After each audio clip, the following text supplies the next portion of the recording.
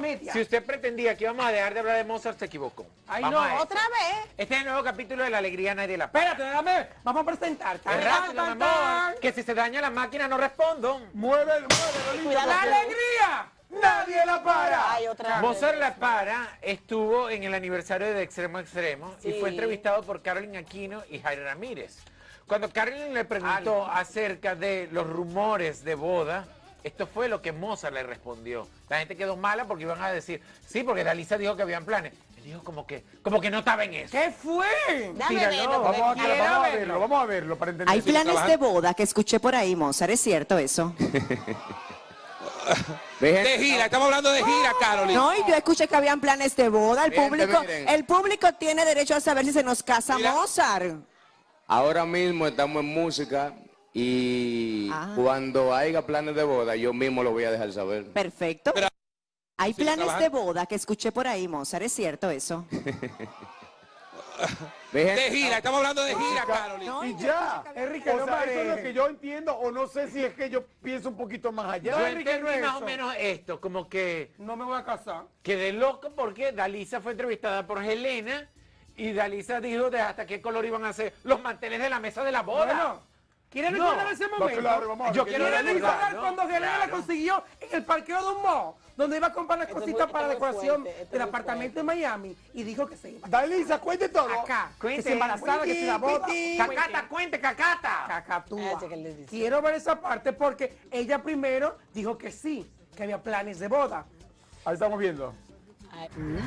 Pronto. Y la boda, la boda, me enteré que iba a ser en, en- como en el tiempo de noviembre, diciembre, ¿cierto Tú eres la que más te entera de todo. Pero mi te- amor. Pero tú sabes que es una de las invitaciones, sea la fecha que sea, tú serás una de las primeras. Tan porque tú sabes que linda. aparte de todo eres mi amiga. Ah, linda. Dime cuándo es.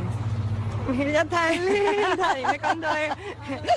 ¿Cuándo? Todavía no tenemos fecha, pero hemos, hemos, hemos eh, hablado unas cuantas cosas que queremos hacer antes de. Eh, tenemos planes futuros. eh, De bebé. ¿Estás embarazada? volvemos en breve. Bueno, y vimos cuando Yelena Solano le estaba preguntando y dijo que sí, que habían planes y todo lo demás, y buenísimo, y todo chévere. Entonces la Yo estoy seguro que para esto hay una explicación lógica. Que Ah. me dé alegría a mí y a todos los demás. Te voy a decir una cosa. Al parecer, Mozart la para, llegó a la casa, la cacata la encontró encacatada en la quinta potencia. Al domingo siguiente se Ya presentaba. Como, como, como una cacata encacatada, con las patas para arriba, Señores. así, histérica. Señores, mire, si Mozart salió de algo, no es para caer en otra cosa. Él lo explicó en el, en el programa Aquí se habla español con Daniel Charcos, perdón, con Daniel Zarco, que le preguntó exactamente, Charco? cuéntame de tu vida personal, hablemos de planes de boda. ¿quieres tener hijos? Y Mozart simplemente dijo, ahora lo voy a explicar Después de todo la porque se ha armado un juidero. Ahora yo vuelvo a decir, señores. Mire, uno se ríe y cosas. Así, te pero óyeme, pero me va a hablar. Uno No se ríe, hablar. uno se ríe, pero lo que está pasando, Mozart, mira, no quisiera que nadie lo pasara. Mijo, desaparecete, mijo. Y deja que esas dos mujeres se maten. Ah, acaba con tu vida. Tú no estás grabando, no estás haciendo Vamos a ver que Mozart explique. Atención lo que digo Mozart. Mozart, explica por qué estabas aburrido el día que Carolyn te entrevistó y por qué a Daniel Sarko sí le explicaste la vaina Porque la cacata le voló. Seguro esa mujer le hizo un sino por tu vida personal. ¿Sientes que, que eso te ha beneficiado por el contrario la gente ha dejado de escucharte para leer nada más lo que pasa con tu vida?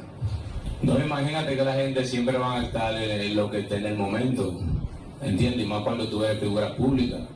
Ahora, si yo no fuera figura pública, eso no estuviera pasando porque a diario hay gente que, que se casan, otros que se divorcian, pero cuando es una figura pública eh, de peso, la gente lo, lo, lo cogen para ellos. Por ejemplo, mira, hace como tres días yo estaba en un programa y me preguntaron, mira, ¿y vienen planes de boda? ¿Tienen planes? Claro, yo tengo planes de boda. Claro. Y planes de tener hijos y todo, ¿me entiendes? Pero eh, yo, como me tienen muy cansado con ese tema, para evadir el tema, de decir, sí, estamos música, esto que lo otro, y cuando yo tenga planes lo voy a dejar dicho. Yo lo que quería decir era, cuando yo tenga fecha, lo voy a decir. Ah, claro. Claro, porque sí, tengo planes de boda. eh, tengo planes de tener un hijo, pero en la página lo que salió fue, Monza salió a desmentir que no se va a casar, que esto y lo otro, o sea, porque eh, de todo lo que hemos hablado, fácilmente, este pedacito sea la noticia. Sí, sí. ¿Tú vayas a entender? Por lo, que- por lo general es así, mira, incluso ya Estamos viendo, él está tan, acostum- tan acostumbrado, él sabe tanto de esto que él dijo que seguro lo que, lo que iba a salir en el video es un pedacito, como pasó con lo que yo dije aquí. Ahora, está- él sabe que muy Mozart bien- sabe del negocio. Él sabe del negocio y- sabe lo que tenía Sí. en el pasado. Ahora, entiendo y aclaró eh, allí públicamente de que sí se quiere casar con Darisa, que quiere tener un hijo y todo lo demás. Es De hecho, bipolar, esta ¿no? semana vamos ¿Qué? a mostrar. Ya. Es muy difícil no que solamente medios. te pregunten, perdón, que solamente te pregunten sobre tu vida personal y no la musical. No vaya a medio, no a Mozart. vayas a medio. él Perdón, él- Enrique. perdón, él explicó allí. Voy a darte la explicación personal, pero también quiero hablar de música. Déjame decirte una cosa. Él sabe que está ahora mismo en el ojo del huracán hace meses. Si usted no quiere hablar de su vida personal, que le van a dar con todo el gusto, mejor no vaya ni a radio ni a televisión. Y guárdese. Voy a, entre- voy a Él no se entrevistar. molesta. prese- Él canto no está mejor. molesto. No, porque Él no cambió. se ve él viene incómodo. y dijo aquí que no hay boda. No, el domingo. No, no dijo eso. No, no, no. Él no, dijo, no, no cuando haya- No, él no dijo eso. Del gran amor que para mí tú eres. Sé que sientes lo mismo por mí. Perdóname.